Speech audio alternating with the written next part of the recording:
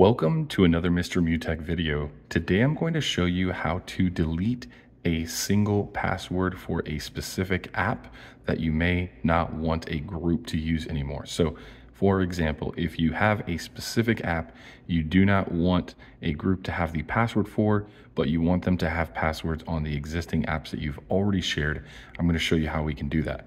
So the first thing we wanna go ahead and do is go to all our passwords under the passwords app on iPhone. And once we go ahead and select that, you're going to see the multi-individual icon here for apps that are shared with in other individuals or groups. What you're going to want to go ahead and do is select the app that you do not want to share any longer with that group.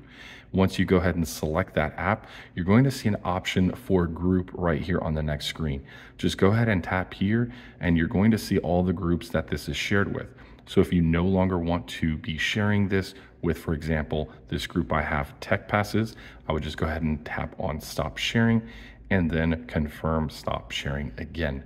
And once that happens, it will no longer be sharing with the group, but I will still have access to it on my own device. Hopefully that's helpful for you guys. And if so, feel free to give me a thumbs up. Thank you so much for watching and have an awesome day.